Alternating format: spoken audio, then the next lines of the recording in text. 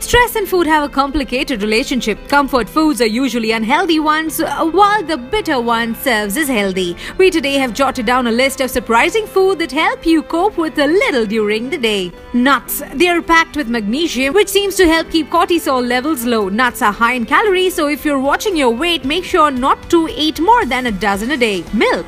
A warm cup of milk before bed is not just an old wives' tale. It's high in vitamin D, which is a nutrient associated with happiness. Avocados. Besides being an excellent source of healthy fat, these creamy green fruits, yes, fruits can stress proof your body.